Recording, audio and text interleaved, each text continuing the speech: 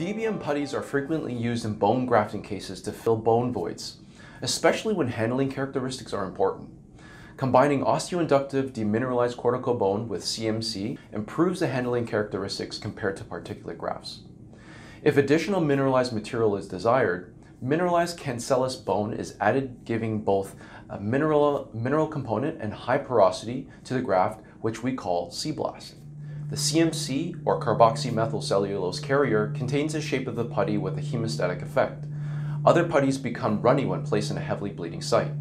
C-blast and C-graft can be used as a carrier product to add autogenous or mineralized bone and maintains its easy handling characteristics. The CMC carrier has excellent biocompatibility and does not interfere with cell-mediated bone formation.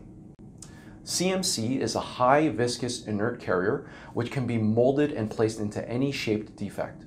It will not migrate from the graft site and does not shrink or expand, keeping its shape even when grafted into a bleeding site.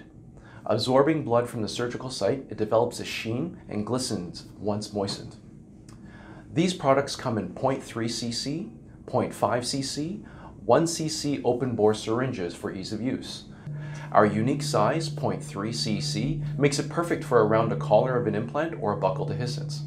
There's a tip that you can add to the syringe for a more specific placement, or you can leave it as an open bore syringe for more flexibility, unlike other putties. Plus, the C-Blast and C-Graft is very cost effective compared to existing putties on the market.